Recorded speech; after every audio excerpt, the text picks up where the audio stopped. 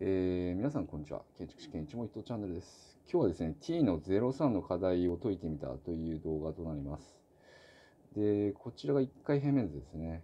で、こちらが2階となりまして、で、これが3階ですよね。こちらが断面図となります。で、ちょっと1階を見てみましょう。えー、と T の課題の特徴として、えー、と大きなショールームだったり商業部門っていうのが要求されていると。で、これをうまくゾーニングするということと、それに合わせてこう階高指定があるので、えっと、断面図における階高っていうのが、えー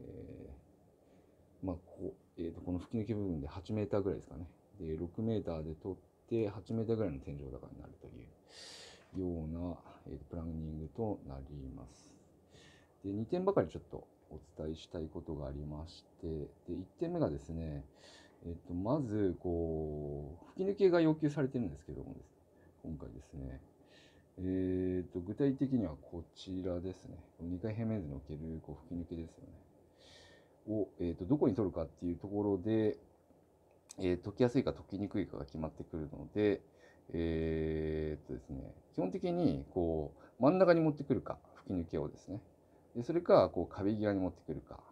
で、それもう角に持ってきちゃうかっていうこう3択があると思うんですけれども、えっと基本的にこう真ん中に持ってくると、こうロの字型の回遊型のですね、えー T 線に関しては、えっとその標準回答例、模範回答例を見ていただければ分かると思うんですけれども、えー解くっていうのがまあ一つのセオリーとしてあります。ただこれは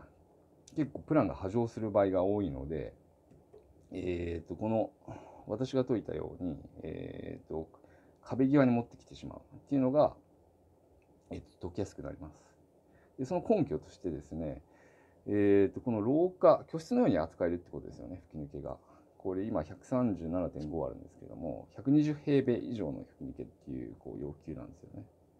なのでこう廊下を通してしまってそこに居室のようにこう2スパンぐらいで吹き抜けを配置すると、